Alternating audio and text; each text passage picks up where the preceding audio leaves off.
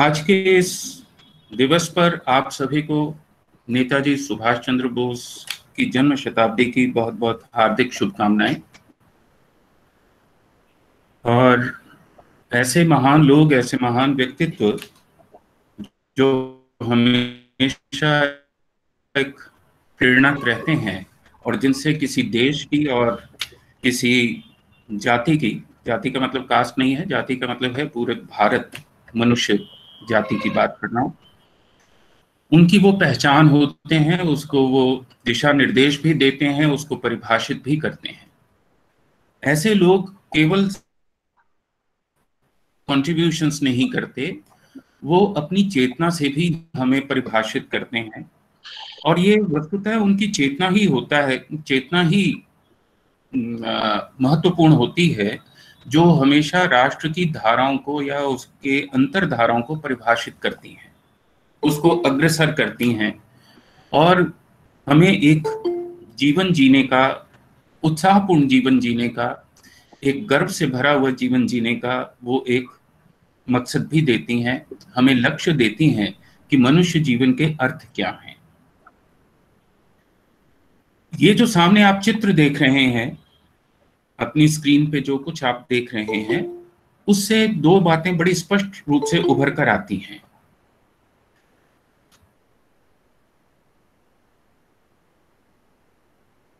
उनकी हुई है। और जिन कपड़ों में आप देख रहे हैं, जब वो प्रेसिडेंट नियुक्त हुए थे इलेक्ट हुए थे इंडियन नेशनल कांग्रेस के, और उसके बाद वो कैसे उसको छोड़ करके जाकर के इंडियन नेशनल आर्मी की उन्होंने स्थापना की और वहाँ पर आकर के जिस तरह की उन्होंने व्यवस्थाएँ की, जिस तरह के युद्ध किए, जिस तरह से लोगों को इंस्पायर किया और जिस तरह का प्रभाव उन्होंने ब्रिटिश गवर्नमेंट पे छोड़ा और दबाव छोड़ा, वो हम सभी के लिए बड़ा ही जानना महत्वपूर्ण है।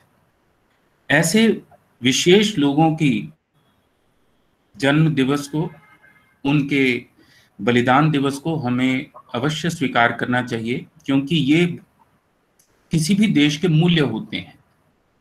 इनके बगैर, इनके बिना हम ना तो अपने अपने चेतना को परिभाषित कर पाते हैं, न ही हमारे पास कोई बहुत उत्साहपूर्वक जीने की संभावनाएँ होती हैं, अग्रसर होने की संभावनाएँ होती हैं। तो इसलिए आज हम अपनी ओर से, आप सभी की ओर से नेताजी सुभाष चंद्र बोस जी को, जो कि भारत की प्रथम स्वतंत्र सर्वकार के जनक हैं। सर्वकार संस्कृत का शब्द है, सरकार में लिख सकता था, लेकिन सर्वकार थोड़ा सा ज़्यादा बेहतर शब्द है, जो अपने अर्थ को ज़्यादा व्यापक दृष्टि से देता है, क्योंकि सर में सब समाहित है और सरकार में, सर में सब कुछ समाहित नहीं होता, अधिकार की भावना वहाँ ज़्यादा आती है। तो निश्चित रूप से इस बात को हमने बहुत नगण्य किया, गौण किया, इसको कभी हमने प्राथमिकता नहीं दी कि अगर भारत की स्वतंत्रता में अगर किसी ने किसी सरकार को स्थापित किया या हम कहें कि भारत की पहली सरकार गवर्नमेंट कौन सी थी, इंडिपेंडेंट गवर्नमेंट कौन सी थी तो वो हमें मानना पड़ेगा कि सुभाष चंद्र बोस ने जो आज़ाद हिंद फौज के माध्यम से जिस सरकार की स्थापना की है, वही इंडिपेंडेंट गवर्नमेंट कहलाएगी। बाकी तो सब जो है, हम सभी जानते हैं कि ट्रांसफ़र ऑफ़ पावर रहा है, वो वस्तुतः इंडिपेंडेंस कभी नहीं रही और अभी भी नहीं है। तो बहुत सारे प्रश्न, बहुत सारी चीज़ें, बहुत सारी जो व्यवस्थाएँ हैं, या बहुत सारी घटनाएँ हैं जिनके बारे में हमें मालूम नहीं होता हम जानना भी नहीं चाहते, लेकिन ऐसे मौके हमें मिलते हैं जब हमें विद्वान वक्ता भी मिलता है तो सरल भी होता है, वो हम जब इन विषयों के ऊपर निर्देश देते हैं, उन अंदर बह रही अंतरधाराओं को हमारे सामने लाके प्रस्तुत करते हैं और बड़े सरल रूप में हमारे साथ साझा करते हैं तो हमारे ज्ञान की भी वृद्धि होती है और हमें एक अपने इतिहास के प्रति आश्वस्ति भी होती है। क्योंकि अभी तक इतिहास जो भारत का लिखा गया है वो बहुत दोषपूर्ण इतिहास रहा है। लेकिन हमें कहीं ना कहीं ऐसे इतिहासकार मिलते हैं जो वस्तुतः इतिहास को इतिहास की दृष्टि से लिखते हैं। न वो निंदा, न स्तुति, न वो किसी एजेंडा से होता है, वो वस्तुतः इतिहासकार होते हैं। ऐसे ही आज के हमारे इतिहासकार डॉक्टर वीरेंद्र सिंह ढिल्लो हैं, जो महाराज अग्रसेन कॉलेज, जगाधरी में इतिहास के विभागाध्यक्ष हैं। और उनसे मैं परिचय अभी आपका बाद में कराऊँगा, लेकिन दो तीन चीज़ें मैं आप लोगों के साथ और साझी कर लूँ। एक स्लाइड और देखिए। जब मैं इतिहासकार के रूप में इतिहास की दृष्टि से आपसे बात करना चाहता हूँ और विशेष रूप से उनको जब आमंत्रित करता हूँ, ऐसे इतिहासकारों को जो निष्पक्ष रूप से अपनी बात रखते हैं क्रिटिकल तरीके से अपनी बात रखते हैं तो निश्चित रूप से आप ये देखिए कि दो, एक लेटर है और दूसरी तरफ़ वो व्यक्ति है जो आज़ादी देने के लिए उत्सुक है। इस भारत को आज़ादी देना चाहता है। इस लेटर को आप सभी लोगों ने सोशल मीडिया पे भी देखा होगा और बाकी जगह भी आपने देखा होगा, लेकिन उसको बड़े दबे रूप में ही उसके बारे में बात की जाती है। और जवाहरलाल नेहरू के द्वारा लिखा गया ये लेटर अगर ये सच है अगर ये यथार्थ है तो आप देखिए कि वहाँ पर उसके लिए शब्द क्या यूज़ किया गया है? वॉर क्रिमिनल और किसको कहा गया है? किसके लिए उनको वॉर क्रिमिनल घोषित किया गया है? ब्रिटेन के प्राइम मिनिस्टर के लिए एटली के लिए। जिसके बारे में मुझे लगता है कि हमारे बाद में जब चर्चा होगी तो बात सामने आएगी उभर करके और उस पर कोई ना कोई टिप्पणी भी अवश्य सुनने को मिलेगी। तो ये बात मैं आपके सामने रखता हूँ, रखना चाहता हूँ कि किस तरह की विपरीत परिस्थितियों में भी सुभाष चंद्र बोस ने अपने लक्ष्य को ध्यान में रखा, इस देश के लिए, इस समाज के लिए जो वो कर सकते थे, वो उन्होंने करने में संकोच नहीं किया। सुभाष चंद्र बोस के बारे में जो जानकारी और भी मैं आप लोगों के साथ निश्चित रूप से साझा करना चाहूँगा आज के मुख्य वक्ता के माध्यम से। कि एक तरफ़ गांधी रहे, दूसरी तरफ़ नेहरू रहे, और बीच में आप सुभाष चंद्र बोस का चेहरा देखें तो आपको उनके चेहरे पे दिव्य अलौकिकता झलकती दिखाई देगी। एक निर्मलता झलकती दिखाई देगी। लेकिन बाकी दो चेहरों के बारे में कुछ भी कहना मेरे लिए इस वक्त संभव नहीं है, क्योंकि जब उनसे प्रेसिडेंटशिप छुड़वाई गई, जब उनके साथ और सारी घटनाएँ घटी इतिहास में जो दर्श हैं, उनको देख करके मैं ऐसी बात कह रहा हूँ। ये वो व्यक्ति है जो ये कहता है कि one individual may die for an idea but that idea will after his death incarnate itself in a thousand lives यही बात है जिसकी वजह से आज हम उनको स्मरण कर रहे हैं। आज भी वो हमारी प्रेरणा के स्रोत हैं। मैं मुख्य वक्ता को आमंत्रित करूँगा चर्चा के लिए। एक तरफ़ वो कहते हैं the secret of political bargaining is to look more strong than what you really are और इसका प्रत्यक्ष उदाहरण क्या है? आज के जो आंदोलन चल रहे हैं, जो हमारा आज का विषय तो नहीं है, लेकिन फिर भी वो एक उदाहरण के तौर पे मैंने आपसे बात की है। तो secret of political bargaining is to look more strong than what you really are और दूसरी तरफ़ वो कहते हैं कि it does not matter who among us will live to see if India free it is enough that India shall be free and that we shall give our all to make her free इतनी बड़ी बात है। कहीं कोई अपने भीतर की अपनी कोई व्यक्तिगत लालसा नहीं, कोई व्यक्तिगत इच्छा नहीं, कोई व्यक्तिगत महत्वाकांक्षा नहीं। केवल और केवल एक ही चीज़ है कि मेरा देश आज़ाद हो, भारतीय आज़ाद हो। आज के मुख्य वक्ता से परिचय कराने के लिए मैं आमंत्रित कर रहा हूँ डॉक्टर मदन राठी जी को कि वो आज के हमारे मुख्य वक्ता से हमारा परिचय करवाएँ। और उसके बाद का कार्यक्रम, उसके बाद डॉक्टर साहब, डॉक्टर वीरेंद्र सिंह ढिल्लो जो हैं, वो अपना वक्तव्य देंगे और उसके बाद हम कुछ प्रश्न भी लेंगे, कुछ टिप्पणियाँ भी लेंगे और फिर उसके बाद वोट ऑफ़ थैंक्स जो है, उसके बाद हम इसको कार्यक्रम को पूर्ण करेंगे। डॉक्टर मदन राठी जी। सर आप जुड़े हैं? मुझे लगता है शायद नहीं आ, जुड़े हैं। शायद बीच में जुड़े थे या डिस्कनेक्ट हो गए होंगे तो आ, उनकी ओर से इतिहास विभाग की ओर से संस्कृत विभाग की ओर से और एनसीसी की ओर से मैं डॉक्टर साहब का हार्दिक अभिनंदन करता हूँ स्वागत करता हूँ और हमारे साथ जुड़े हुए अन्य सभी श्रोताओं का भी मैं स्वागत करता हूँ। डॉक्टर वीरेंद्र सिंह ढिल्लों इतिहास विभाग के अध्यक्ष हैं, महाराजा अग्रसेन कॉलेज जगाधरी में। और इनकी विशेषता ये है, जैसे कि मैं बीच में भी कह आया हूँ आप लोगों के, कि निष्पक्ष और आलोचनात्मक व्यवहार करने में ये इनकी विशेषता है। और उससे मैं प्रभावित भी हूँ। इतिहास के भीतर चल रही अंतरधाराओं को देखना, ये इनकी एक अलग ही विशिष्टता है। नहीं तो सामान्य रूप से इतिहास ओपिनियन बनाते हैं, लेकिन तथ्यों से सही जानकारी और सही दृष्टि देना, ये जो विशेषता है, ये डॉक्टर वीरेंद्र सिंह ढिल्लों जी की है, जिसके लिए मैं उनका हार्दिक अभिनंदन भी करता हूँ और मैं हृदय से उनका सम्मान भी करता हूँ कि इस तरह के इतिहासकार बहुत कम उपलब्ध होते हैं। मैं काफ़ी इतिहासकारों से मिला हूँ, सुना हूँ जो केवल जिद में इतिहासकार भी बने हुए हैं, जो भारतीयता को स्वीकार करने को तैयार नहीं है।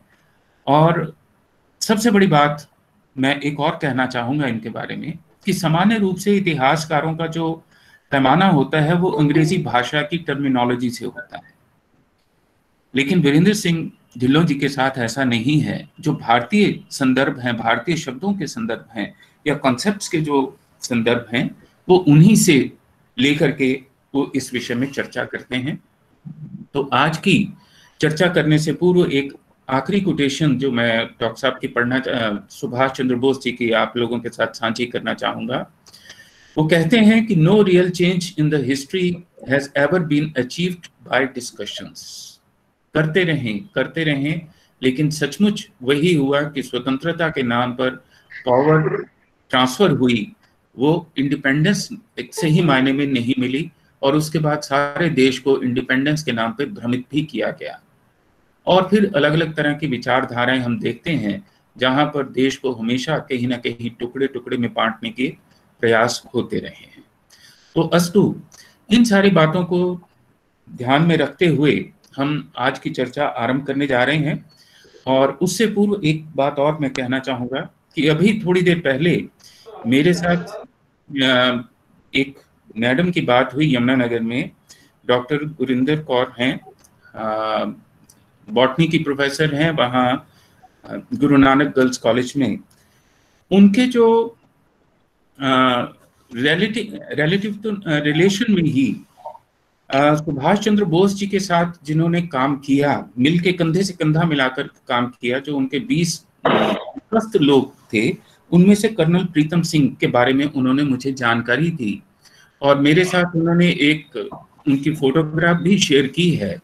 मैं समझता हूँ कि ये एक सही मौका है कि हम कर्नल प्रीतम सिंह जी को भी अपना श्रद्धांजलि उनके प्रति अर्पित करते हैं, उनको भी स्मरण करते हैं। उनकी स्लाइड मैं बाद में शेयर करूँगा क्योंकि अभी अभी वो मुझे प्राप्त हुई है। जो भी जानकारी होगी वो लेक्चर के बाद मैं आप लोगों के साथ साझी करूँगा, लेकिन आप लोगों की ओर से, अपनी ओर से, अपने कॉलेज की ओर से मैं कर्नल प्रीतम सिंह जी के प्रति अपना श्रद्धांजलि अर्पित करता हूँ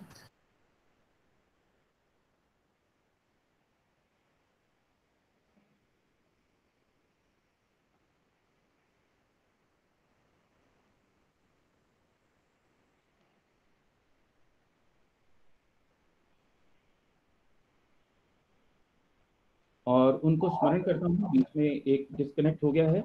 मुझे उम्मीद है आप सब इस वक्त सुन पा रहे होंगे। तो मैं आमंत्रित कर रहा हूँ डॉक्टर वीरेंद्र सिंह ढिल्लों जी को कि वो हमें उनके व्यक्तित्व के बारे में, उनकी उपलब्धियों के बारे में और वो मूलतः उनका चरित्र कैसा रहा है, किस तरह की उनकी सोच रही है, उन सभी पे विचार प्रस्तुत करने के लिए मैं आमंत्रित कर रहा हूँ डॉक्टर वीरेंद्र सिंह ढिल्लों जी को। Sir thank you Ashutosh ji. पहले तो मैं आपका धन्यवाद करूँगा। आपने मेरे लिए बहुत अच्छे शब्दों का जो इस्तेमाल किया। Thanks a lot good morning all I am really grateful to S D P G college Ambala cantt for providing me an opportunity to share my ideas with young minds in the participant of this national webinar. My special thanks are to Dr. Rajendra Singh, Principal, and Dr. Ashutosh Anirasji. Dr. Madan Rathi, the organizer, remained a cohort during my research days in Kurukshetra University. So his effort in arranging this webinar is quite laudable. I congratulate all departments and concerned organizations who played a key role in organizing this national webinar. First, a word about the topic of discussion. Angreji, I am audible to all now? Ji, ji, yes. Uh, first, a word about the topic of discussion, which I suggested to the organizers was transforming young minds in the true service of nation. Netaji on students and politics. But the one mentioned in the brochure and circulated wide WhatsApp message is a misnomer, I believe. It's my own perception. Netaji Subhash Chandra Bose, father of first independent government of India. The correct title would have been Jawaharlal Nehru, father of first independent government of India. It's on historical facts. The topic which the organizers mentioned in their invitation is historically, factually incorrect. If we view the historic, uh, mm. if we view the historical concept of father of first independent government of India, that was Jawaharlal Nehru, who first unfurled the tricolor national flag on 26 January 1930 at Lahore and marked the day as Independence Day. It was Nehru who addressed the nation on Independence Day as interim prime minister and representative of free Indian people on 15th August 1947. So it would be a grave mistake to weigh two great freedom fighters, Netaji Bose and Nehru, in the weighing machine of present realities.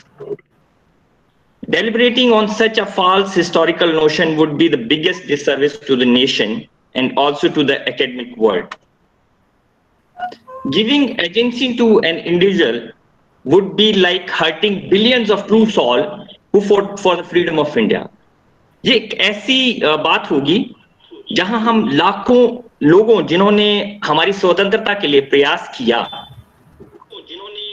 उनको hurt करना होगा no individual was responsible for first independent government of India it was we the people of India हम भारत के लोग, जैसा कि हमारे संविधान की जो प्रस्तावना है the preamble to the constitution of India जिसमें जन, जो भारत राष्ट्र है, वो अपने लिए एक स्थान बनाता है, और वही वास्तव में भारत के स्थापना के first independent government of India जो जिसकी स्थापना की गई है वो हम भारतीयों ने की है, हम भारत के लोगों ने की है, हमारे पूर्वजों ने की है। किसी इंडिविजुअल ने नहीं की है। किसी भी एक व्यक्ति का उसमें अगर हम एम्फोसाइज करते हैं तो हम अपनी डेमोक्रेटिक वैल्यूज़ जो प्रजातांत्रिक विचार हैं हमारे, जो प्रजातांत्रिक वैल्यू हमने इनहेरिट की है सिंस एंशियंट इंडिया उनको हम किसी तरह आघात पहुंचाएँगे, किसी तरह से हम एक उन पर चोट करेंगे। जो हमारा संविधान बनाया गया, वो हम लोगों ने स्वीकार किया, हमने अपना राष्ट्र स्वीकार किया, हमने आज़ादी ली। किसी सुभाष ने, किसी नेहरू ने नहीं ली। हम we the people of India हमारे जो पूर्वज थे, जो उस समय पर though I was not there but हमारे पूर्वजों ने ये काम किया है। Our trust with destiny was mark by all freedom fighters सभी एक छोटे से छोटे शहर के एक फ्रीडम फाइटर से लेकर जवाहरलाल नेहरू नेताजी बोस अंबेडकर जी सब लोगों ने इसमें अपना योगदान दिया। राष्ट्र सभी का था और सभी ने उसमें योगदान दिया।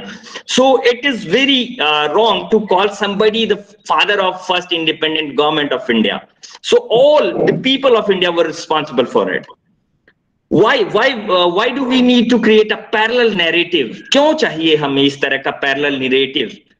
हिस्ट्री में कि कोई फादर ऑफ़ नेशन को हम बनाए। Sorry father of independent government of India बनाए। It was neither an independent government जो गवर्नमेंट सुभाष चंद्र बोस ने फॉर्म की थी 31 अक्टूबर उन सॉरी 21 अक्टूबर 1943 को सिंगापुर में। वो provisional government of Azad Hind थी। It was not first independent government of India I want to make it clear to all everybody why why there is a need to create a parallel narrative about the father of first independent government of india though it was neither an independent government nor representative from the mainland Bharat के भूमि से नहीं उसको बनाया गया था भारत के लोगों ने उसे नहीं बनाया था वो जो प्रोविजनल गवर्नमेंट वो एस्टेब्लिश की थी वो प्रिजनर्स ऑफ़ वॉर थे हमारे जो ब्रिटिश सैनिक थे they form that government with expert जो भारत के निवासी साउथ ईस्ट एशिया में रहते थे, उनके द्वारा वो सरकार बनाई गई थी। उससे हम हर्ट करेंगे जो एजेंसी हमारे भारतीय लोगों की थी, जो लाखों करोड़ों लोग जेलों में रहे, जिन्होंने सेक्रीफाइस किया। अंडमान की जेलों में, बर्मा की जेलों में, बहुत से विदेशी जेलों में उन्होंने भारत के सेक्रीफाइस के लिए किया, चाहे वो कनाडा रहा हो, चाहे इंग्लैंड रहा हो। तो हम क्यों करना चाहते हैं ये पैरेलल नैरेटिव क्रिएट हमें भारत के लोगों को डेमोक्रेटिक वैल्यूज़ को इंस्टीट्यूशंस का सम्मान करना चाहिए। मेरा ये पहला वो है। Why do we need to create heroes about above democratic institutions हम इंडिविजुअल को डेमोक्रेटिक इंस्टीट्यूशन हमारी संविधान हमारे जो विचार है मौलिक जो हिंदुस्तानी संस्कृति के जो भारतीय संस्कृति है उसके जो मूल तत्व हैं हम उनसे ऊपर किसी व्यक्ति को क्यों बिठाना चाहते हैं? उससे हम अपने इन मौलिक विचारों को अपनी संस्कृति को आघात पहुंचाएँगे। ये नहीं हमें आ, करना चाहिए। आशुतोष जी मैं बहुत क्षमा चाहूँगा आपसे। पर ये तत्व है हमारी संस्कृति का व्यक्ति के विचारों की स्वतंत्रता without hurting the feelings of other so आज जो हम बात करेंगे और जिस पर मैं एम्फोसाइज करूँगा वो होगा transforming young minds in true service of nation जो हमारे युवा हैं जो हमारे प्रेरणा स्रोत हैं, आगे फ्यूचर हैं हिंदुस्तान के। वो कैसे भारत के लिए एक ट्रू नेशनल सर्विस कर सकते हैं? इससे संदर्भ में सुभाष चंद्र बोस का एक बहुत महत्वपूर्ण वक्तव्य मैं आप लोगों के साथ शेयर करूँगा, जो मैंने national museum national museum Calcutta के आर्काइव्स में पढ़ा था। वो है 19 अक्टूबर उन्नीस को उन्होंने लाहौर में जो स्टूडेंट कॉन्फ्रेंस के प्रेसिडेंशियल एड्रेस दिया था, आज मैं वो आपके साथ साझा करूँगा with the permission of the organisers और इसके लिए मेरा जो इंटेंट है that is purely academic and rational if otherwise it would cause any emotional upheaval in the followers of Netaji it would be my credit so जो ये भाषण उन्होंने प्रेसिडेंशियल एड्रेस दिया था लाहौर के स्टूडेंट कम्युनिटी को 19 अक्टूबर उन्नीस सौ उनतीस का, जिसका टाइटल उन्होंने रखा था स्टूडेंट एंड पॉलिटिक्स तो ये जो वक्तव्य उन्होंने वहाँ पर लाहौर में 19 अक्टूबर उन्नीस सौ उनतीस को दिया था, उसमें वो सबसे पहले अपने उद्देश्य को जस्टिफाई करते हैं कि क्यों लाहौर के स्टूडेंट कम्युनिटी ने उन्हें बुलाया है, क्यों पर्पस क्या है उनका समन करने का, कलकत्ता से Lahore. It was the basic purpose of the organisers जो लाहौर के ऑर्गेनाइजर्स थे स्टूडेंट कॉन्फ्रेंस के। वो कहते हैं, सुभाष चंद्र बोस जी कहते हैं कि इन्होंने मुझे इसलिए आमंत्रित किया है ताकि मैं यंग माइंड्स के साथ यूथ ऑफ़ पंजाब के साथ इंटरेक्ट कर सकूँ। और मैं इसके लिए धन्यवादी हूँ पंजाब के लोगों का। और क्योंकि बंगाल और पंजाब दोनों में बहुत से मामलों में एक रूपता रही है बंगाल जो सबसे पहले अंग्रेज़ों का गुलाम हुआ और पंजाब जो सबसे बाद में गुलाम हुआ, लेकिन दोनों ही जगह के बंगाल के और पंजाब के युवाओं ने संघर्ष करके अंग्रेज़ों को बाहर, भारत से बाहर निकालने में अहम भूमिका निभाई है।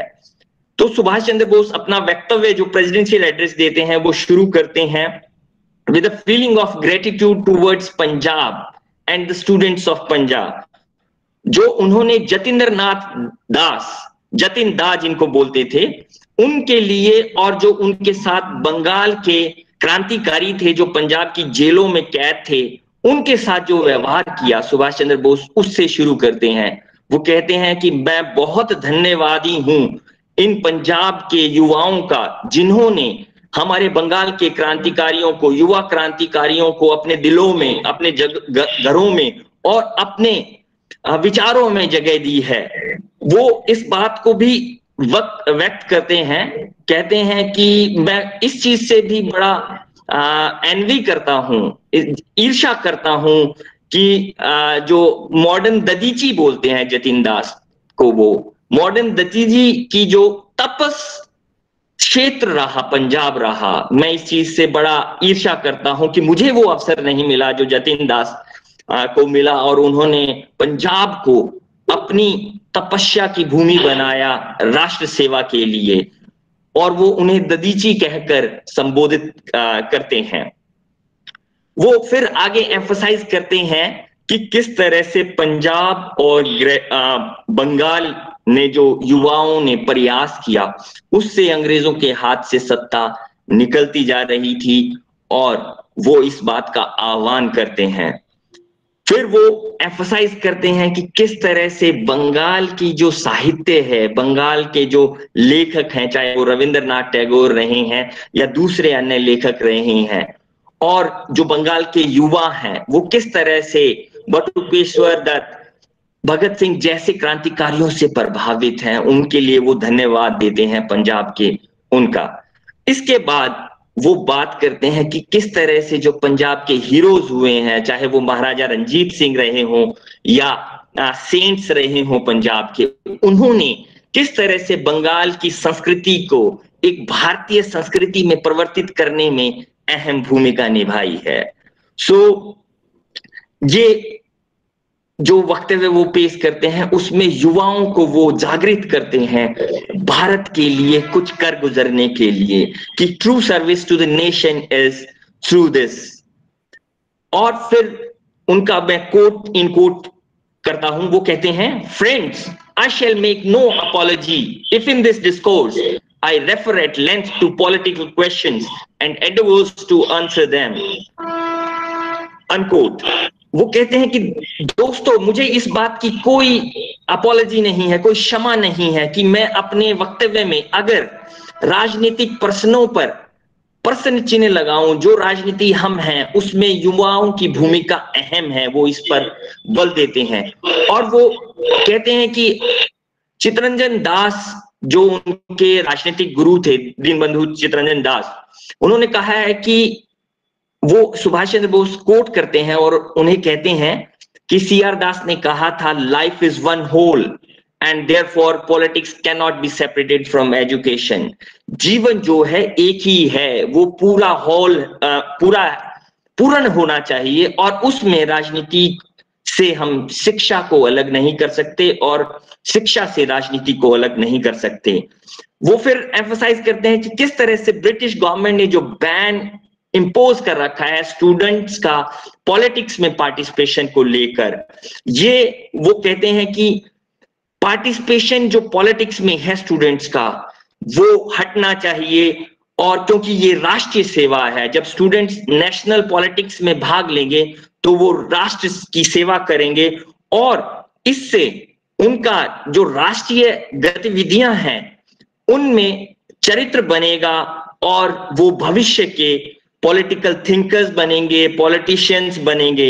इसीलिए एफसाइज करते हैं सुभाष चंद्र बोस, इस बात पर बल देते हैं कि युवाओं का जो पार्टिसिपेशन होना चाहिए राजनीति में, वो बहुत आवश्यक है, क्योंकि इससे उनके चरित्र बनाने में, उनके मैनहुड में, और वो कहते हैं कि ये सिर्फ़ भाग लेना ही नहीं thought without action can not suffice to build character वो फिर कहते हैं कि हिस्सेदारी होनी चाहिए और उस हिस्सेदारी के लिए क्या क्या मापदंड होने चाहिए एक अच्छे विद्यार्थी के? इसके बाद वो एम्फोसाइज करते हैं कि किस तरह से जो युवाओं का स्टूडेंट मोमेंट है वो पूरे हिंदुस्तान में उसका जेन्युइनली ग्रोथ हुआ है। 1920s में 1929 uh, में। और ये कहते हैं कि ये बहुत ही महत्वपूर्ण कदम है जो भारतीय विद्यार्थियों ने इसके लिए, किसी भी प्रांत के हो, चाहे महाराष्ट्र के हो, चाहे बंगाल के हो, चाहे पंजाब के हो, संयुक्त राष्ट्र प्रांत के हो, मद्रास के हो, सभी युवाओं का इसमें बहुत भागीदारी है। और वो कहते हैं कि ये एक ऐसा ओकेजन है, आज जब आपने हमें यहाँ आमंत्रित किया है। जब हम इस बात को खुल के कह सकते हैं कि ये अवसर मिला है आपको राष्ट्र की सेवा करने का, और यहाँ से आप एक राष्ट्र का निर्माण कर सकते हैं जो स्वतंत्र होगा वैचारिक तौर से, स्वतंत्र होगा राजनीतिक तौर से, सामाजिक तौर से, आर्थिक तौर से।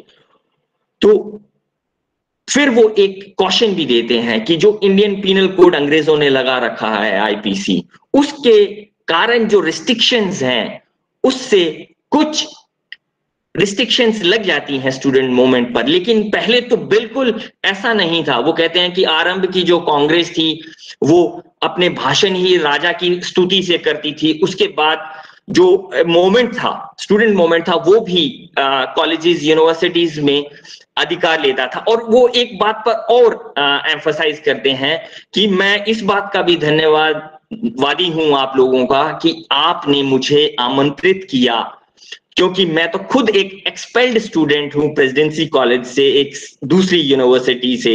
लेकिन फिर भी ये फ्री एटमॉस्फेयर जो क्रिएट हुआ है स्टूडेंट मोमेंट्स के दौरान, इससे एक आज़ादी मिली है अभिव्यक्ति की, विचार की व्यक्ति के, अभिव्यक्ति के विचार की, उसको उन्होंने बहुत एम्फोसाइज किया है। फिर वो कहते हैं कि आज का जो युवा आंदोलन है उस पर प्रकाश डालते वो कहते हैं कि आज का युवा जो है, वो रेस्टलेस है इम्पेशेंट है, क्योंकि आज की जो स्थिति है, वो बहुत घातक है। और उसके अंदर एक ऐसा डिज़ायर है इंटेंस डिज़ायर है कि वो कुछ नया करे, कुछ बेहतर भविष्य तलाशे अपने के लिए। और ये काम सुभाष चंद्र बोस कहते हैं, ये काम एक युवा तब कर सकता है जब उसमें सेंस ऑफ़ रिस्पॉन्सिबिलिटी हो स्पिरिट ऑफ़ सेल्फ सेक्रीफाइस हो, तभी ये युवाओं का आंदोलन एक ऐसा आंदोलन बन सकता है जो पूर्णतः राष्ट्र सेवा कर सकता है। वो कहते हैं कि ये कोई मोमेंट जो ये आंदोलन है, ये इरिस्पॉन्सिबल बॉयज़ गर्ल्स का आंदोलन नहीं है। ये आंदोलन एक जिम्मेदार आंदोलन होना चाहिए। ये आंदोलन thoughtful man and women young thoughtful man and women का आंदोलन होना चाहिए और इस आंदोलन की एक ही इंस्पिरेशन होनी चाहिए to build the character of nation to build the character of young to build the personality and rendering true service useful and effective service to the country तो वो कहते हैं कि इसके लिए एक युवा को क्या करना चाहिए? इस तरह की सेवा राष्ट्र की अगर करनी है एक युवा को तो उसको क्या करना चाहिए? तो वो कहते हैं every student requires a strong and healthy physique एक बच्चे को, एक युवा को, भारत के एक युवा को स्ट्रॉन्ग होना चाहिए उसे हेल्दी होना चाहिए, उसकी सेहत, उसे सेहतमंद होना चाहिए। इसके साथ साथ उसका जो चरित्र है, वो साउंड होना चाहिए, उसका चरित्र और उसका जो ब्रेन है that should be full of useful information, healthy, dynamic ideas. aur ye ज़रूरी है, अगर ये उसके पास नहीं है तो उसे भारत की, चाहे वो अंग्रेज़ सरकार है या कोई और सरकार हो, उससे डिमांड करना चाहिए अथॉरिटी से डिमांड करना चाहिए कि ये तीन essential ingredients of character building for national service should be given to the to the youth पहला स्ट्रॉन्ग एंड हेल्दी फिजिक जो वो खुद से बना सकता है। दूसरा sound character and third brain full of useful information and healthy dynamic ideas इसके अलावा वो एक सजेशन भी देते हैं वहाँ के लाहौर के जो स्टूडेंट्स एसोसिएशन थे, उनको एक सजेशन देते हैं। वो कहते हैं कि आप लोगों को मिलकर एक कोऑपरेटिव स्वदेशी स्टोर्स बनाने चाहिए। ये दो महत्वपूर्ण कार्य कर सकते हैं आपके लिए। पहला तो ये जो स्टूडेंट कम्युनिटी है, उसको सस्ते और बेहतर वस्त्र उपलब्ध करवा सकते हैं। दूसरा, इससे हमारी जो हथकरघा उद्योग है, जो इंडस्ट्री है होम इंडस्ट्रीज़ हैं, उनको इंकरेजमेंट मिलेगी। और दूसरा जो महत्वपूर्ण उद्देश्य वो आप अपने सजेशन के पीछे बताते हैं, वो कहते हैं इससे विद्यार्थियों को, इससे यूथ को एक एक्सपीरियंस मिलेगा कि किस तरह से वो कोऑपरेटिव स्टोर्स को कोऑपरेटिव सोसाइटी को चला सकते हैं। और इससे जो आय होगी, इन स्वदेशी स्टोर्स को चलाने से जो आय होगी, उसको वो इस्तेमाल कर सकते हैं for advancing student and community welfare वो विद्यार्थियों के और कम्युनिटी के वेलफेयर के लिए उसको इस्तेमाल कर सकते हैं। और बड़ी सुंदरता से वो वो कार्यों का भी उल्लेख करते हैं अपने वक्तव्य में है कि किन कार्यों में किन कम्युनिटी स्टूडेंट कम्युनिटी वेलफेयर की एक्टिविटीज़ में वो इस प्रॉफिट को लगा सकते हैं जो वो स्वदेशी स्टोर से आ, कमा सकते हैं। वो कहते हैं फ़िज़िकल कल्चरल सोसाइटीज बनानी चाहिए जो योगा पर जो आ, जो फ़िज़िकल एक्टिविटीज़ हैं कुश्ती पर दंगल पर इन चीज़ों पर जो दे फ़िज़िकल कल्चर की सोसाइटीज एस्टेब्लिश कर सकते हैं वो जिम्नेजियम एस्टेब्लिश कर सकते हैं उस पैसे से। वो स्टडी सर्कल ज्ञान के केंद्र वो स्थापित कर सकते हैं वाद विवाद की सोसाइटीज का निर्माण कर सकते हैं महत्वपूर्ण मैगजीनों को उसमें ला सकते हैं, म्यूज़िक क्लब बना सकते हैं, लाइब्रेरीज बना सकते हैं गाँवों में विद्यार्थियों के लिए, इसके अलावा रीडिंग रूम्स बना सकते हैं और सोशल सर्विस लीग बना सकते हैं जो अपने विचारों को ग्रामीण क्षेत्रों में पहुँचाए, शहरों में पहुँचाए और जनता की, भारत की जनता की सेवा करें। देखिए, आज हम कितना इन उद्देश्यों से अनभिगे हो गए हैं, इसलिए अनभिगे हो गए हैं क्योंकि हमारे करिकुलम में, हमारे वक्तव्यों में ये चीज़ें नहीं झलकती हैं। एक जो ये व्हाट्सएप यूनिवर्सिटी का जो ये फेक न्यूज़ का कल्चर है, इसने भी इन सब उद्देश्यों से हमें अनभिज्ञ कर दिया है। फिर वो कहते हैं कि इस युवा आंदोलन का जो परम परम उद्देश्य है, वो है training future citizen of free India और इसकी ट्रेनिंग करने के लिए एक विजन होनी चाहिए एक युवा की, एक आइडियल सोसाइटी को एस्टेब्लिश करने के लिए एक प्रोग्राम ऑफ़ एक्शन एक्टिविटीज़ होना चाहिए, जिसके माध्यम से हम युवा को तैयार कर सकते हैं और उस युवा को तैयार करके सॉरी फॉर द इनकन्वीनियंस बाद में अपनाना sorry for the inconvenience there was some trouble I hope uh, I'm audible now.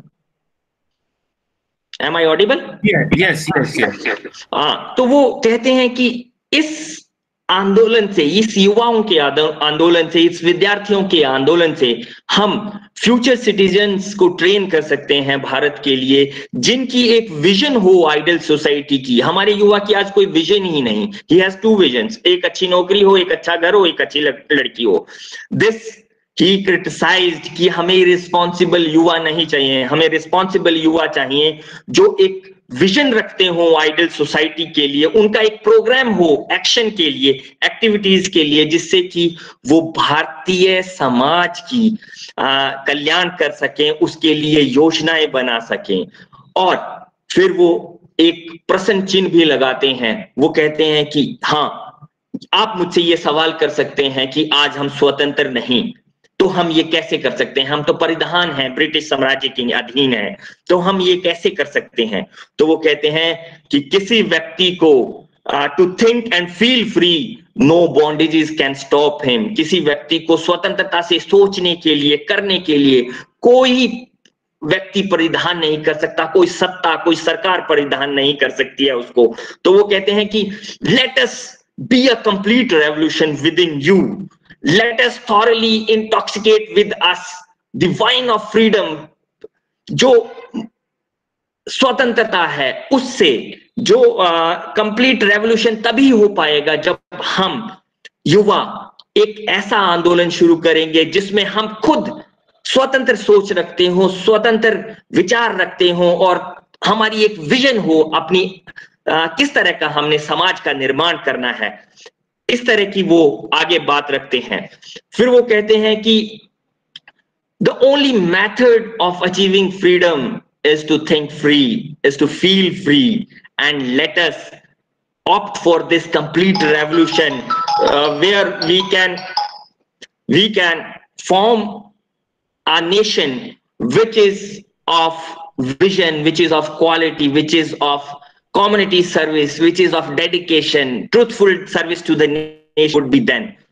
अंत में वो अपने वक्तव्य के उदाहरण देते हैं चीन का वो कहते हैं देखिए I quote what he said next door to us is China let us therefore take a leaf out of its recent history and see what the student in China have done for their country. Can we do the same for India? Unquote. वो कहते हैं कि हमारे पड़ोसी जो देश है, चीन, उसको देखिए, उसके इतिहास से कुछ प्रेरणा लीजिए। जो स्टूडेंट्स हैं चाइना के, जो विद्यार्थी हैं, युवा, उन्होंने क्या कर दिखाया है अपने राष्ट्र के लिए? क्या हम वो कर सकते हैं अपने राष्ट्र के लिए? वो कहते हैं, जो मॉडर्न चाइना में रहना सा आया है, जो रिवाइवल आया है cultural revival social revival economic revival वो सिर्फ़ स्टूडेंट की एक्टिविटीज़ के कारण आया है। जब स्टूडेंट्स ने free thought free with sound physique sound mind and sound body they travel to their villages establish factories there and started generating resources for the nation with the message of self reliance and freedom कि आत्मनिर्भर बनिए, स्वतंत्र बनिए और अपने लिए, अपने समाज के लिए, अपने राष्ट्र के लिए सही देशभक्ति तभी है जब आप उसके लिए ट्रूथफुल सेल्फलेस सर्विस आप करते हैं और इसके लिए सुभाष चंद्र बोस भारतीय युवाओं को, विशेषकर लाहौर के स्टूडेंट कॉन्फ्रेंस के सदस्यों को स्टूडेंट एसोसिएशन को वो कहते हैं कि चाइना से आप सीखिए। किस तरह से चाइना के युवा ने एक ऐसा राष्ट्र, शक्तिशाली राष्ट्र स्थापित कर दिया है, जिसके, जिसकी कनेक्टिविटी है रूरल और अर्बन जिसकी विश्व में एक पहचान बन गई है। और आज आप देखिए China holds veto power of the world because उसने अपने आप को एक ऐसे स्तर पर, एक ऐसे आत्मनिर्भर लेवल पर अपने आप को डेवलप कर लिया है और सुभाष चंद्र बोस उन्नीस में ये बात कहते हैं कि आप सीखिए चाइना से और चाइना से सीख कर किस तरह से उसके युवा ने एक ऐसा राष्ट्र क्रिएट कर दिया है, एक ऐसा राष्ट्र का निर्माण कर दिया है जो पूरा विश्व जिसका लोहा मान रहा है। फिर अंत में वो अपने वक्तव्य को समाप्त करते हुए, अपने वक्तव्य को समाप्त करते हुए कहते हैं there is no royal road to freedom path of freedom is a thorny path it is a path which leads to glory and immortality freedom means life and death in pursuit of freedom of glory of imperishable glory वो कहते हैं कि ये आसान डगर नहीं है, जिस पर चलकर आप आसानी से, इस पर जगह जगह पर कांटे हैं जो ये स्वतंत्रता का मार्ग है। और इसको हासिल करने के लिए आपको अपने प्राण भी अगर राष्ट्र के लिए निछावर करने पड़ जाएँ तो वो भी कुछ नहीं है। तो फिर वो कहते हैं कि स्वतंत्रता जो है, वो जीवन है। मृत्यु जो है, वो आप हासिल कर सकते हैं और वो आपकी जो डेथ होगी, वो ग्लोरी के लिए इम्पेरिशेबल होगी, उसको सदा के सदा जनरेशन याद रखेंगे। और इसी के साथ वो धन्यवाद करते हैं स्टूडेंट कॉन्फ्रेंस और स्टूडेंट एसोसिएशन का, लाहौर का, और वो कहते हैं कि अगर मेरे इस वक्तव्य से किसी हृदय में चिंगारी उत्पन्न होती है तो ये मेरे लिए एक बहुत बड़ी उपलब्धि होगी। इसी पर मैं अपने वक्तव्य को समाप्त करने से पहले एक दुष्यंत कुमार की कविता की कुछ पंक्तियाँ मैं अंकित करना चाहूँगा। हो गई है पीर पर्वत सी, अब पिघलनी चाहिए। फिर हिमालय से कोई गंगा निकलनी चाहिए। मेरे सीने में नहीं तो आपके सीने में सही। कहीं हो ये आग आग जलनी चाहिए। धन्यवाद। बहुत बढ़िया।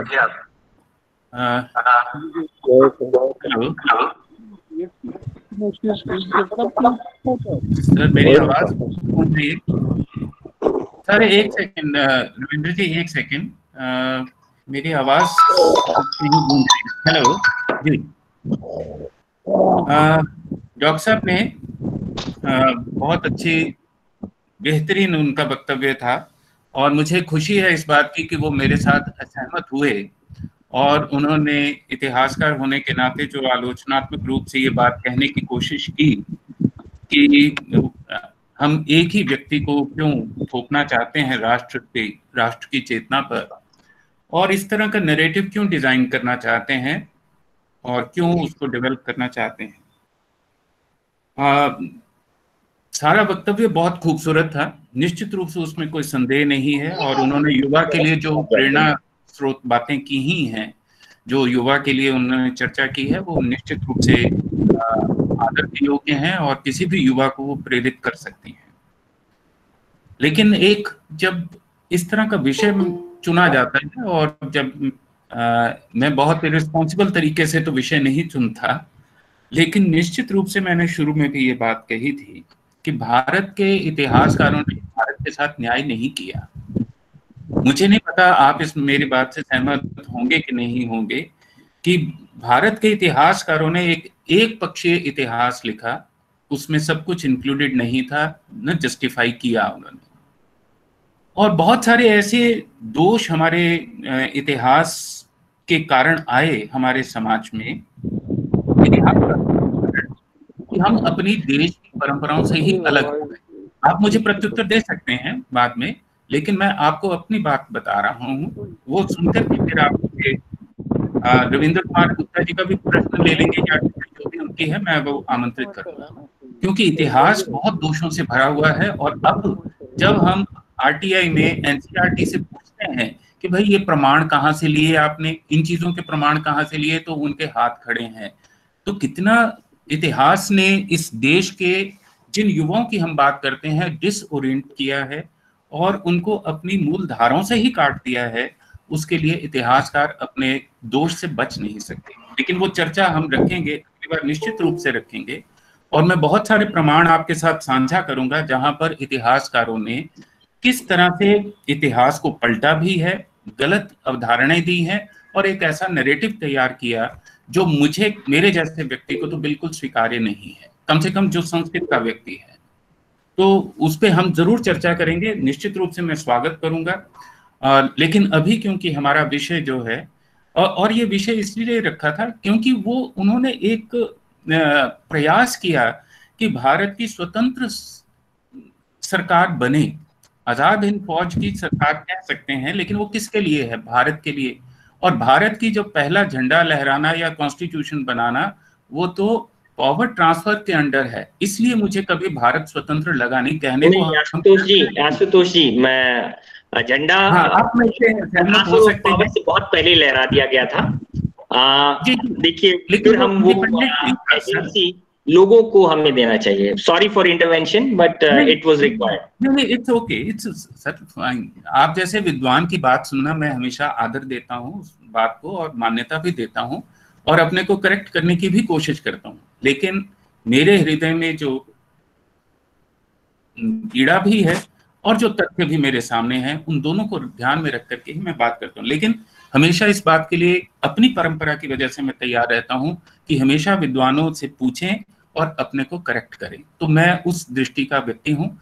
तो हम उस बात को आगे ज़रूर बढ़ाएँगे कि इतिहासकारों के इस नरेटिव को जो उन्होंने डिज़ाइन किया लेकिन उससे पहले मुझे लगता है रविंद्र कुमार गुप्ता जी कुछ कहना चाह रहे हैं और भी लोग जो प्रश्न करना चाहें या टिप्पणी रखना चाहें लेकिन इस बात को छोड़कर जो मैं और डॉक्टर साहब कर रहे थे बात छोटी सी बारे में आप हाँ, मुझे इजाज़त दे दो। जी जी। हाँ महात्मा गांधी ने एक बहुत सुंदर बात कही थी। An eye for an eye reach the whole world blind जिस तरह की डिसोरिएंटेशन पहले हिस्टोरियन ने की है, अगर हम भी डिसोरिएंट करेंगे तो will make the whole history a mess और हमारी फ्यूचर जनरेशन वो समझ ही नहीं पाएँगी क्या उचित है, क्या अनुचित है। जो आज हो रहा है व्हाट्सएप यूनिवर्सिटी और जो फेक न्यूज़ चलती है मीडिया में। ठीक है। न, मैं खैर उस व्हाट्सएप यूनिवर्सिटी का स्टूडेंट नहीं नहीं नहीं नहीं मैं आपको नहीं कह रहा हूँ। It's it's general trend it's a general trend लेकिन चलिए मैं एक्सेप्ट करता हूँ आपकी बात को आदर देता हूँ। तो इसी के साथ हम डॉक्टर रविंद्र कुमार गुप्ता जी की और भी जो लोग अपनी बात डॉक्टर साहब के साथ साझी करना चाहें या हमारा ज्ञान वर्धन करना चाहें सुभाष जी को लेकर के तो उनका स्वागत है। जी सर।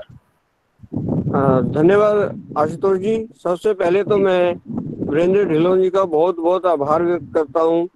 एक बहुत ही सार गर्भित और विश्लेषणात्मक विवेचना के लिए।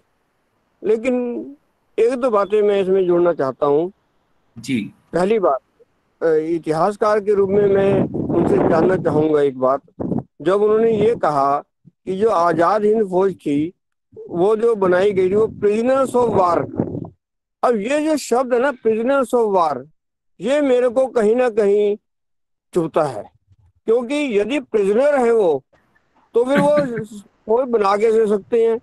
सच्चाई ये है इतिहासकारों ने इसको नहीं क्यों नहीं कहते इस बात को? सर जवाब सर मैं जवाब sir sir sir just minute just minute जवाब आपको मेरे से चाहिए ना? हाँ जी हाँ जी। आप हाँ जी मैं जवाब मैं जवाब देता हूँ फिर आप अपना वक्तव्य पूरा करिए। देखिए सुभाष चंद्र बोस ने आज़ाद हिंद फौज का या इंडियन इंडिपेंडेंस लीग का जो संगठन किया था वो जैपनीज। सहायता से किया था। और जैपनीज जैपनीज जो डॉक्यूमेंट हैं आप जब उनको पढ़ेंगे तो उसमें जो वर्ड लिखा हुआ है वो प्रिजनर्स ऑफ़ वॉर है। तो हम we can not go beyond documents documents के बाहर नहीं जा सकता एक हिस्टोरियन उसकी लिमिट है ये.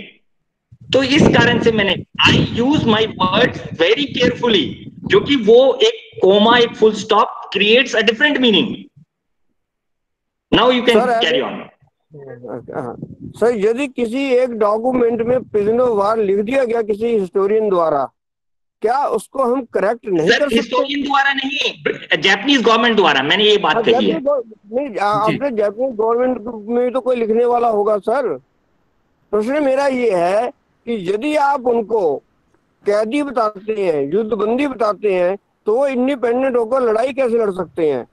तो कहीं ना कहीं मैं ये समझता हूँ कि इतिहास के इन शब्दों को बदलने की आवश्यकता है नंबर एक।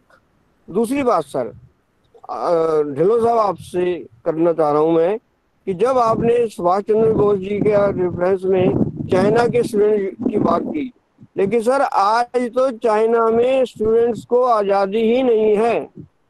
तो वो उन्नीस सौ उनतीस में तो सही हो सकती है बात लेकिन वो 2021 में सही नहीं है। तो इसलिए हमें नए तरीके ढूँढने होंगे। तीसरी बात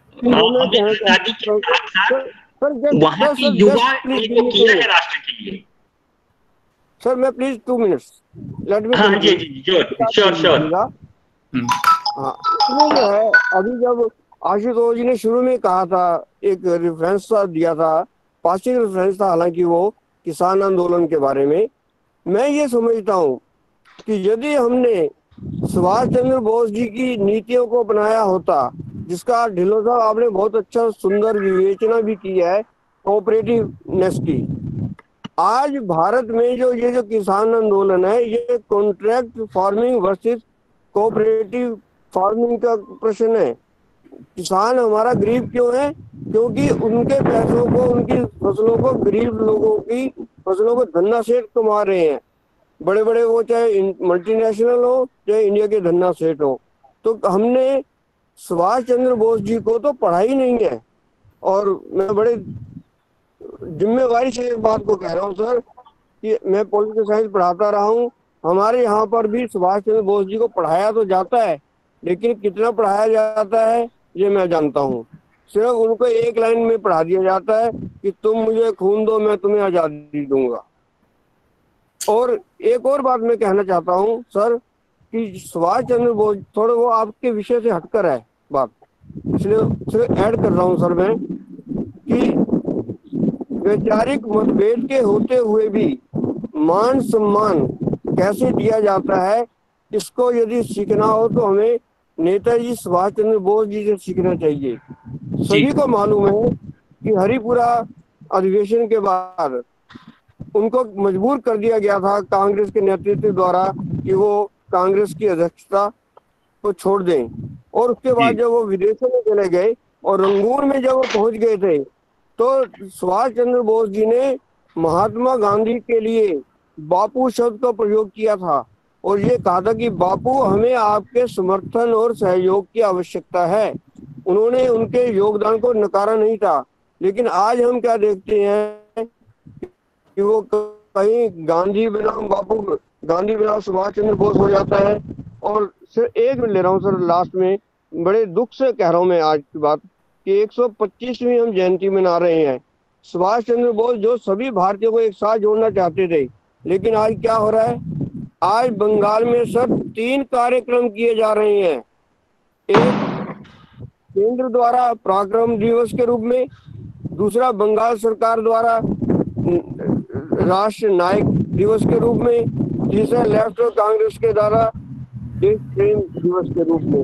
अरे कम से कम एक ऐसे नायक के रूप में, राष्ट्र के नायक के रूप में जिसने राष्ट्र को एक किया हो, जिसने राष्ट्र को एक बनाने की कोशिश की हो, हम दुर्भाग्य से, राजनीतिक कारणों से उसका भी बंटवारा कर रहे हैं। मुझे तो ऐसा लग रहा है कि आज कहने के लिए तो हम एक सौ पच्चीसवीं जयंती मना रहे हैं। और मुझे लग रहा है कि कोई तो नेताजी की एक भाग खींच रहा है अपनी और कोई दूसरा खींच रहा है कोई तीसरी खींच रहा है। तो ये कौन सी हम श्रद्धांजलि दे रहे हैं? मैं चाहूँगा कि आप ढिल्लो साहब इसके ऊपर भी बताएँ कि आज में इससे पहले कि डॉक्टर साहब अपना वक्तव्य समाप्त करें सर ये पॉलिटिकल श्रद्धांजलि नहीं है ये एकेडमिशियंस की श्रद्धांजलि है और वाकई हम हम 130 करोड़ लोगों को एकेडमिशियंस ही प्रेजेंट कर रहे हैं ये उनकी ओर से श्रद्धांजलि है। सर आप उनको छोड़ दीजिए। कह रहा हूँ आशुतोष जी मैं इसीलिए कह रहा हूँ कि हम अकेडमिशियंस का भी ये उत्तरदायित्व बनता है कि यदि राजनीतिक कारणों से कुछ गलत हो रहा है तो उसकी ओर भी हम इंगित करें उसकी ओर भी हम संकेत करें। जी जी केवल इतना कहना हाँ, जी जी सर। ढिल्लो साहब आप रिस्पॉन्ड करना हाँ, चाहेंगे? रविंद्र हाँ आई थिंक अविनाश जी ने अपना माइक ऑन कर लिया है. I request him to switch off mic तीन महत्वपूर्ण बातों पर उन्होंने बल दिया। एक प्रिजनर ऑफ़ वॉर जो हम टर्मिनोलॉजी इस्तेमाल कर रहे हैं जो मैंने भी की। देखिए सर उसकी लिमिट मैंने आपको बता दी। We can not go beyond documents हाँ उसको आ, एक ब्यूटिफाई करने के लिए हम जो शब्द इस्तेमाल करें वो थोड़ा सा लिबरल हो लिबरल सरल हो लोगों को समझ आए वो हम कर सकते हैं। बट एज अ हिस्टोरियन मैंने आपको अपनी रिस्ट्रिक्शन बता दी। दूसरा दूसरा जो सवाल है कि चाइना की उन्होंने बात की कि चाइना की जो प्रेजेंट कंडीशन है वो देखिए युवाओं युवाओं को बोलना नहीं। हम क्यों गलत चीज़ें सीखें सर? हमारी संस्कृति ने हमेशा सदियों से वही चीज़ें ली हैं जो अच्छी हैं। बुराइयों को तो हमने छोड़ दिया है। देखिए, सारी बुराइयों को हमने छोड़ दिया है, सती को हमने छोड़ दिया है, जाति व्यवस्था को हमने छोड़ दिया है अनटचेबिलिटी को हमने छोड़ दिया है, सब चीज़ों को हमने छोड़ दिया है। हमने अच्छी चीज़ें ले ली हैं। तो हम उन युवाओं से प्रेरणा लें कि वो युवा जाकर अपने ग्रामीण क्षेत्रों में, हम किस तरह का युवा कर रहे हैं आज? बताइए आप, हम किस तरह का युवा क्रिएट कर रहे हैं हमारी सोसाइटी में, जो सारा दिन व्हाट्सएप पे लगा रहता है? मैं कमेंट नहीं करना चाहता हूँ इस तरह का कोई भी। किस तरह का युवा हमने पैदा कर दिया है? किस तरह की शिक्षा हमने दे दी है उसे? चाहे वो कोई भी कारण रहा हो मैं कारण पे नहीं जाऊँगा पर क्या हमें नहीं प्रेरणा देनी चाहिए अपने युवा को? एक अच्छा साउंड फिजिक होने की आज बच्चा सो मीटर नहीं भाग सकता है वो थक जाता है। मैं पिछले दिनों एनसीसी के अपने कॉलेज में ट्रायल्स देख रहा था। बहुत से बच्चे 100 मीटर नहीं भाग सके 1500 मीटर नहीं भाग सके। क्या साउंड फिजिक के बगैर करेंगे वो? दूसरा वो जब तक वो थॉटफुल नहीं होगे कितने बच्चे हमारे लाइब्रेरी के रीडिंग रूम्स में बैठते हैं? आप आ, आ, आपके लाइब्रेरियन साहब भी होंगे इस कॉन्फ्रेंस में। हमारे लाइब्रेरियन साहब बहुत से लोग हैं उनसे पूछिए कितने बच्चे आते हैं। आता ही नहीं कोई पढ़ने। क्या हमने आ, ऐसी जर्नल्स अगर सब्सक्राइब भी कर दी हैं उसको रीडर कितने हैं? वो यही एम्फोसाइज करते हैं वो कि भैया हमें अपने युवाओं को दिमागी तौर पर मनोबल पर उसके कॉन्शियसनेस को उसके हाथों को पैरों को मज़बूत करना है ताकि वो राष्ट्र की सेवा कर सके। और सर जो आपका तीसरा आ, सवाल था जो आप आ, मुझे जानना चाह रहे थे देखिए सर स्वतंत्रता आंदोलन इसलिए सफल हुआ क्योंकि हर इंडिविजुअल ने अपनी ज़िम्मेदारी समझी। आज हमने सारी जिम्मेदारियाँ सरकार पर सौंप दी है। कभी हम स्मार्ट कार्ड बनवाते हैं, उनसे कभी आधार कार्ड बनवाते हैं, कभी अपना कुछ और बनवाते हैं। जब हमने अपनी स्वतंत्रता को सरकार को दे दिया है, उसको आइडेंटिफाई करने के लिए दे दिया है, सब कुछ उसको करने के लिए दे दिया तो हमारा क्या रह गया कर्तव्य इस राष्ट्र में? हमें अपने कर्तव्य को पहचानना चाहिए। एक नागरिक होने के नाते मेरी बहुत सी फंडामेंटल ड्यूटीज़ हैं जो संविधान के आर्टिकल 51 ए में दी गई हैं। बहुत से ऐसे कर्तव्य हैं उनको हम दरकिनार कर देते हैं। सिर्फ़ अधिकारों की बात करते हैं। हमारे कर्तव्य क्यों भूल जाते हैं हम? और युवा को तो सबसे पहले अवगत करवाना चाहिए हमें इन कर्तव्यों से ताकि वो राष्ट्र की सेवा कर सके। यही तो सेल्फलेस सर्विस है जिसकी सुभाष चंद्र बोस बात करते हैं। और आज के दिन आपने बंगाल की राजनीति की बात की उस पर भी मैं आ, कुछ अपनी टिप्पणी रखना चाहूँगा आपके समक्ष। बंगाल में जो हो रहा है, सर, वो इस, अभी इलेक्शन है मार्च, अप्रैल में, उसके बाद सब शांत हो जाएगा। अगले साल देखिएगा आप वहाँ वहाँ कोई सुभाष चंद्र बोस को याद करने नहीं वाला होगा, सिर्फ़ माला पहनाने वाले होंगे। अब सिर्फ़, क्योंकि उसका राजनीतिकरण करना है, यही सबसे, जो पॉलिटिक्स और एजुकेशन का समन्वय होना चाहिए, उस पर मैंने एम्फोसाइज किया सुभाष चंद्र के विचारों को लेकर। लेकिन आज हमने एजुकेशन को पॉलिटिसाइज कर दिया है और पॉलिटिक्स को एजुकेशन बेस्ड कर दिया है। ये दोनों ही चीज़ें नहीं होनी चाहिए। हमें अपने युवा को प्रॉपरली एजुकेट करना चाहिए, अपने आइडल्स के बारे में, अपने मूल तत्वों के बारे में, जो हमारी भारतीय संस्कृति के मूल तत्व हैं, और उसके अंदर जो मूल तत्व हैं, वो हमारे संविधान में हमारे विचारों में, हमारी आत्मा में शुरू से समाये हुए हैं। आप अंदर से भारत के किसी, वो जिस तरह हनुमान जी ने अपना सीना निकालकर राम और सीता जी को दिखा दिया था ना, अगर हम भारतीय अपने सीने को छलनी करके दिखाएँगे ना तो हमें भारतीय मूल तत्व मिलेंगे। दया का भाव होगा करुणा का भाव होगा उसमें। आप देखिए पिछले कोरोना के जब लॉकडाउन में कितने लोगों ने आकर सेवा की लोगों की। अपने ही लोगों को अपना समझा। तो हमें अपने कर्तव्यों पर ज़्यादा ध्यान देना चाहिए रादर सरकार के ऊपर डिपेंडेंट होने के। सरकार क्या क्या करेगी हमारे लिए और क्यों करे वो? वो करने के चक्कर में तो हमारा फ़ायदा उठा रही है। आई होप गुप्ता जी मैं आपके जवाब दे पाया। हाँ, मेरा प्रयास था। मुझे लगता है सर मुझे लगता है कि बाकी लोगों के भी विचार ले लें थोड़ी सी टिप्पणियाँ प्रोफेसर अविनाश जी बिहार से हैं बिहार यूनिवर्सिटी में और दर्शन के हैं फिलोसफी डिपार्टमेंट से हैं। सर? जी सर। हम मैं वीरेंद्र सिंह ढिल्लन जी की पूरी पूरी प्रशंसा करता हूँ और उन्होंने बड़े ही मेटिकुलसली सारी चीज़ों को स्थापित करने का जो प्रयास किया है वो श्लाघ्य मैं आरंभ करता हूँ रविंद्र जी के उस प्रश्न पर प्रिजनर्स ऑफ़ वार पर। इनफैक्ट यहाँ पर दो बातें आती है। कोई भी विजित जाति या विजित देश तब तक विजित नहीं माना जाता है जब उसको मन और तन दोनों पर अधिकार हो जाए दोनों तरफ़ से जो है परतंत्र हो जाए। वस्तुतः जो प्रिजनर्स ऑफ़ वार थे, वो एक कालखंड में प्रिजन हुए, लेकिन उनके मस्तिष्क में क्रांति की धारा बह रही थी। वे क्रांति में सक्रिय थे और उनके अंदर भारतीयता समाहित थी और हमारे जो है सुभाष चंद्र बोस जी का योगदान यह है कि उन समस्त प्रिजनर्स ऑफ़ वार को एक बार फिर से मोरलाइज करके राष्ट्र की धारा में सम्मिलित करने का जो श्लाघ्य प्रयास किया है, उसके कारण ही उनके पास एक बड़ी सारी सेना खड़ी हो चुकी थी। क्योंकि जब तक आप पूरे इतिहास देखें ना, मैंने उस काल का तो आप देखेंगे कि हमारा पूरा जनमानस परतंत्र नहीं हुआ था। क्योंकि हमारे अंदर हमारी सभ्यता और संस्कृति का जब तक गर्व हमारे पास रहेगा, जब तक उनका ज्ञान हमारे पास रहेगा, तब तक हम पूरे तौर से जो है परतंत्र नहीं होते हैं, तब तक हम पूरे तौर से गुलाम नहीं होते हैं। ठीक, इन्होंने ढिल्लन साहब ने बड़ी अच्छी बात कही है कि ये प्रिजनर्स ऑफ़ वार टेक्निकली थे but mentally they were the free citizen of India that's why that's why they have been moralized in such a way कि उन्होंने उन सारे, सुभाष चंद्र बोस ने उन सारे लोगों में इस प्रकार की जीवन शक्ति प्रदान की कि उन्होंने अपनी सेना खड़ा की जो ब्रिटिश के अगेंस्ट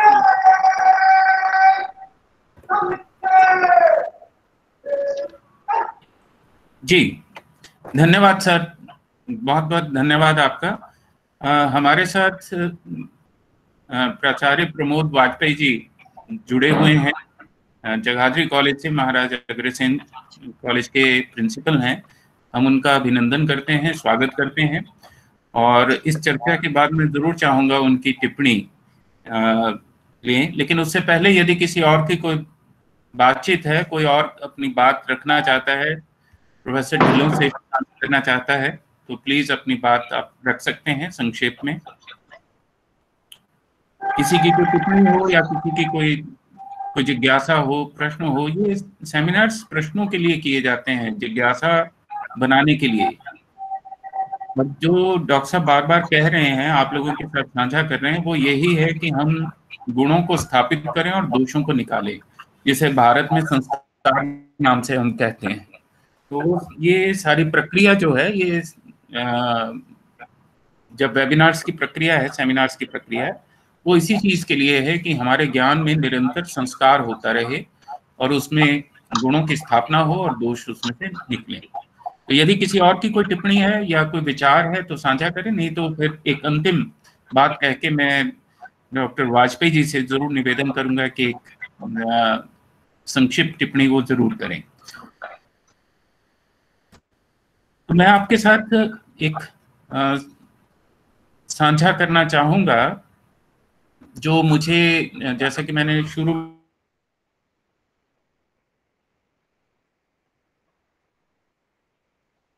ये स्लाइड हाँ ओके। आ, मैं चाहता हूँ कि ये मौका मैं लेना चाहता हूँ डॉक्टर वीरेंद्र जी। आ, आ, मैं चाहूँगा कि आप उन मैडम से क्योंकि वो यमुनानगर से ही हैं हाँ तो हाँ तो उनसे ज़रूर कभी इस विषय में चर्चा करें। और सरदार प्रीतम सिंह जी जो ब्रिटिश इंडियन आर्मी से प्रशिक्षण लेने के बाद 1936 में कमीशन पाकर के इन्फेंट्री यूनिट में कैप्टन नियुक्त हुए थे। और मतलब ये पूरा उनका एक बायोडाटा है कि किस तरह से उन्होंने सुभाष चंद्र बोस के साथ काम किया। और उनके अत्यंत विश्वस्त जो कर्नल्स हैं, उनमें से वो थे। और ये आप पूरा का पूरा नोट जो है, उनके ऊपर लिखा हुआ है और हम सभी देख सकते हैं कि उनको नवंबर एक डिवीज़न हेडक्वार्टर यूनिट में लेफ्टिनेंट कर्नल के पद पर नियुक्त किया गया। और बर्मा व आसाम में यह अंग्रेज़ों के विरुद्ध लड़ते रहे। पलेक मोर्चे पर एक कमांडर की हैसियत से उनकी वीरता और शौर्य को देखते हुए आज़ाद हिंद सरकार की ओर से उनको सरदार जंग की उपाधि से सम्मानित किया गया। ये बड़ा महत्वपूर्ण है। और 1945 में पाँच अन्य अफसरों के साथ सरदार प्रीतम सिंह को भी नेताजी के साथ रूस जाने के लिए वहाँ नया मोर्चा खोलने के लिए चुना गया।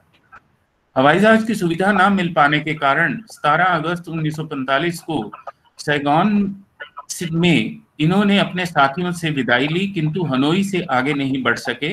मजबूरन इनको अपने साथियों के साथ ब्रिटिश हुकूमत के आगे आत्मसमर्पण करना पड़ा। और अंग्रेज़ी फौज ने सिंगापुर लाकर इनको जापानी युद्ध बंदियों के साथ जेल में बंद कर दिया। और उसके बाद इनको जब छोड़ा गया आज़ाद हुए, मुक्त हुए तो उसके बाद इनका भारत सरकार ने इनके कंट्रीब्यूशंस को रिकग्नाइज किया और जब इन्होंने इनका देहावसान हुआ है तो उस वक्त गवर्नमेंट ऑफ़ इंडिया की ओर से इनको पूरा वो राष्ट्रीय सम्मान दिया गया। आदि आदि इस तरह की बहुत सारी बातें हैं।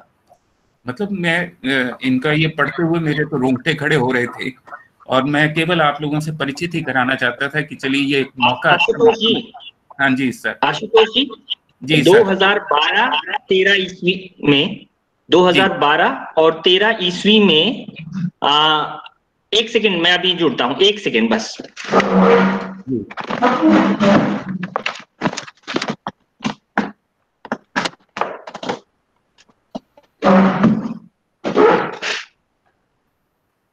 सॉरी वो थोड़ी बैटरी लो हो गई थी इसकी आ, मेरे लैपटॉप की। दो हज़ार बारह तेरह ईस्वी में Indian Council of Historical Research ने फोर वॉल्यूम्स में जो जितने भी हिंदुस्तान के फ्रीडम फाइटर्स हुए हैं उनका हम्म। निकाला है और प्रीतम सिंह जी का भी उसमें ज़िक्र है। तो आ, विद्यार्थी और जो भी कोई रिसर्चर है वो आईसीएचआर की साइट पर जाकर उन्हें थॉरली पढ़ सकता है। उसमें ऑथेंटिक रिकॉर्ड है Indian Council of Historical Research ने दे रखा है। जी जी, धन्यवाद, सर। और ये अच्छी जानकारी आपने दी है कि इसमें उनका दर्ज है। दैट्स रियली वंडरफुल तो अब मैं आमंत्रित कर रहा हूँ इस समापन की ओर जाने से पहले डॉक्टर प्रमोद वाजपेयी जी को, जो हमारे साथ जुड़े हुए हैं, प्राचार्य हैं जगाधरी कॉलेज में। तो मैं उनसे निवेदन करूँगा एक टिप्पणी, अपना आशीर्वचन, अपनी सद्भावना जो है वो हमारे साथ साझी करें। बहुत बहुत धन्यवाद अंगिरज साहब। और मैं देख रहा हूँ कि रमेश जी भी हमें दिख रहे हैं। और कल से जब से मुझे पता लगा कि ढिल्लो साहब का वक्तव्य है उसमें तो मैं थोड़ा उत्साहित भी हो रहा था मुझे सवेरे याद नहीं रहा। और मैंने करीब साढ़े ग्यारह पौने बारह जुड़ पाया या एकदम से याद किया तो मैंने कहा कि चलिए जुड़ते हैं देखते हैं। नेताजी के बारे में तो मेरा आ, कोई अधिकार नहीं है बोलने का। आ, क्योंकि मैं न तो इतिहास का विद्यार्थी हूँ और एक समाज वैज्ञानिक होने के नाते आज उसका कुछ ज़्यादा नहीं बनता। पर ये बहुत स्तुत प्रयास है और इसमें जिन लोगों ने सहभागिता की है उन सबका और मैं प्रश्न देख रहा था कई बार बहुत इनोसेंट तरह के प्रश्न होते हैं, कई बार तकनीकी प्रश्न होते हैं। तो हर तरह के प्रश्नों का जवाब भी आया है और बड़े अच्छी तरह से विश्लेषण किया गया है और प्रस्तुति भी बहुत अच्छी की गई है। एक दो बातें जिसकी चर्चा हो चुकी है, मैं उसको अंडरलाइन करना चाहूँगा कि नेताजी के आदर्शों के साथ में वर्तमान पीढ़ी को कैसे जोड़ा जाए, इस पर चिंतन मनन मंथन होना चाहिए।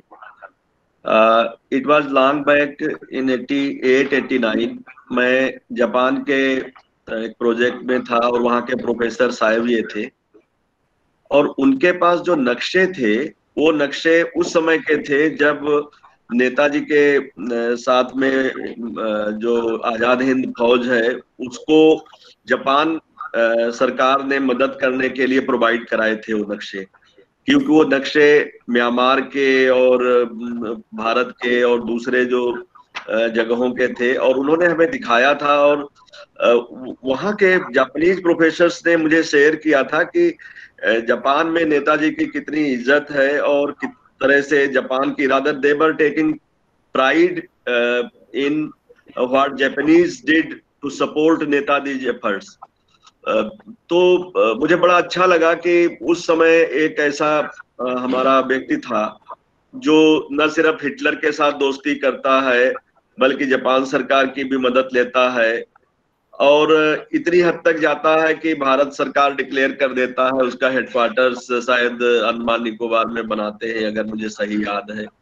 तो मतलब इतनी हिम्मत वाले बच्चे पैदा करना या बनाने पड़ेंगे फिर से। क्योंकि एक नई तरह की क्रांति की ज़रूरत है, एक नई तरह का विकास का इतिहास लिखे जाने की ज़रूरत है। एक अच्छी समझ वाले युवा बनाने का दायित्व भी तो हम ही लोगों के ऊपर है। और इस विषय पर जो चर्चा हो चुकी मैं पूरी तरह से सहमत हूँ कि अभी हमें जिस तरह से क्रांतिवीर युवा चाहिए, क्रांतिकारी युवा चाहिए, वो आ नहीं रहे हैं। भारतेंदु हरिश्चंद जी ने बहुत पहले लिख दिया था कि शिक्षे तुम्हारा नाश हो तू नौकरी के हित बनी। अब तो बस मतलब बच्चा पैदा होता है तो कहते हैं कि क्या बनोगे इंजीनियर डॉक्टर और बाबू क्लर्क टीचर इससे ज़्यादा कुछ उठ नहीं पाते। देश के लिए सिखाने वाली माताएँ मर गई खत्म हो गई भारत में बची नहीं।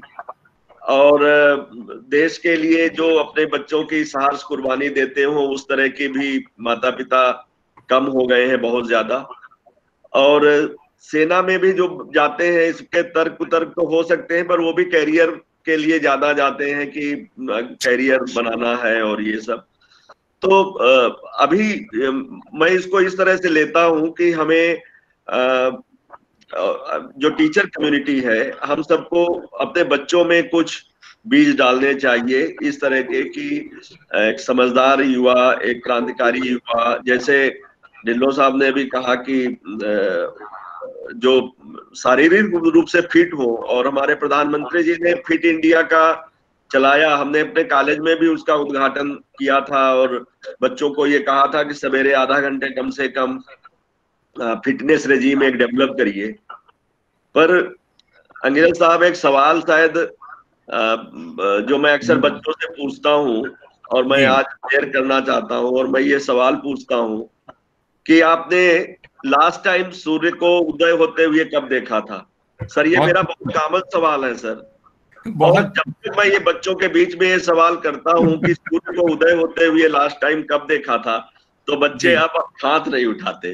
कोई रेयर बच्चा हाथ उठाता और कोई रेयर तो अब सूर्योदय से पूर्व उठ नहीं सकते। रात में देर तक फ़िल्में देखते हैं या मोबाइल पे नेटफ्लिक्स और ये सब देखते हैं जो भी आ गया है अमेजन वगैरह वगैरह। और बस मुझे पता नहीं क्या किधर हम जा रहे हैं। तो अगर आ, मैं बच्चों तो होंगे नहीं ज़्यादा इस सभा में पर जो हमारी बिरादरी के लोग हैं शिक्षक बिरादरी के तो हम लोग एक रिजॉल्व अपने लिए ले सकते हैं कि नेताजी के आदर्शों की तरफ़ उन्मुख करें बच्चों को थोड़ा अच्छे बच्चे बनाए देश के लिए समाज के लिए सोचने वाले आ, आ, बच्चे हमारे होम हमारी पीढ़ी का निर्माण हो। क्योंकि अब देश को दूसरी तरह के क्रांतिवीरों की ज़रूरत है, जो टेक्नोक्रेट भी हो, जो वैज्ञानिक भी हो, जो हर हर लिहाज से मतलब देखिए, हमारे देश में इसरो वगैरह में कितनी प्रगति हो रही है। अभी डीआरडीओ के भी काफ़ी ऐसे प्रोजेक्ट्स आए हैं। तेजस बन के तैयार है, जिसकी डिमांड बहुत ज़्यादा है।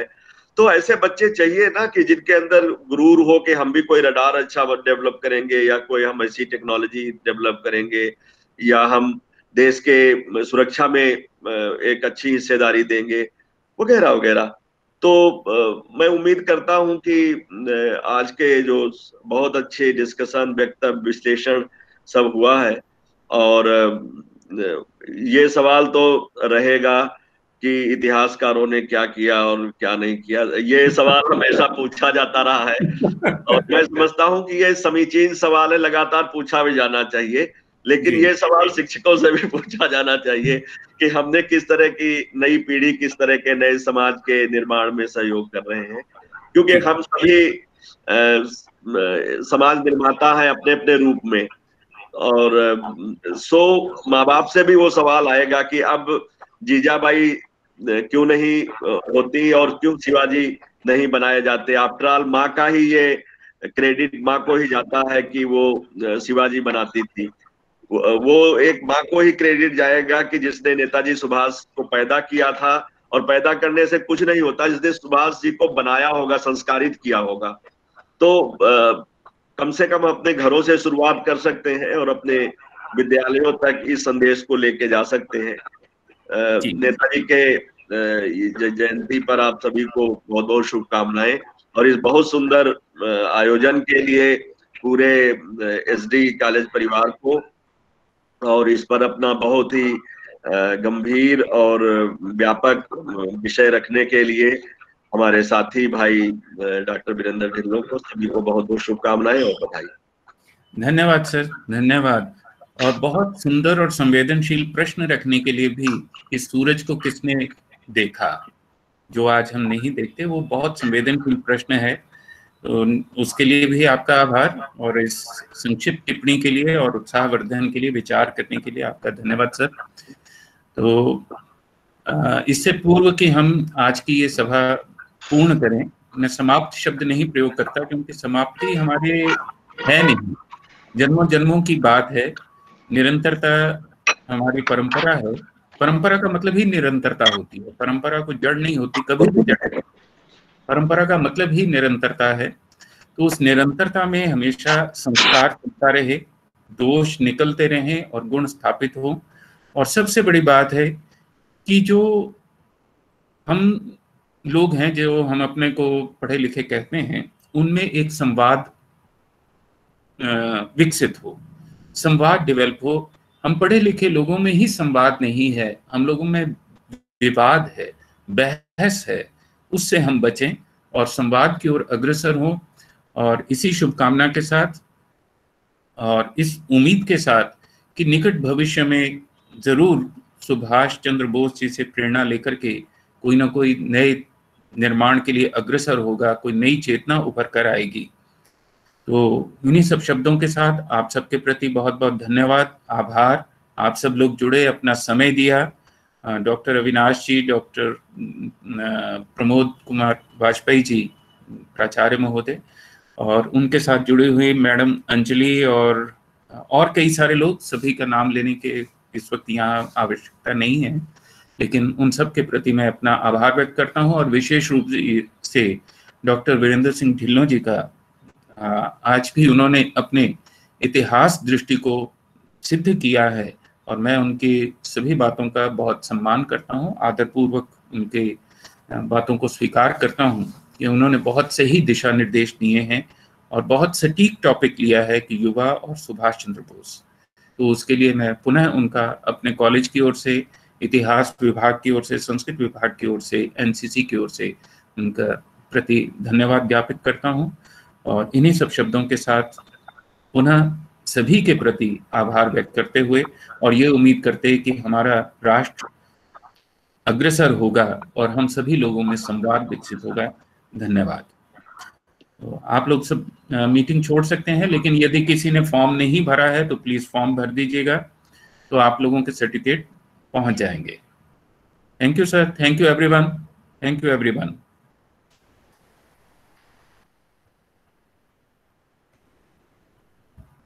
Okay, good luck each and everything.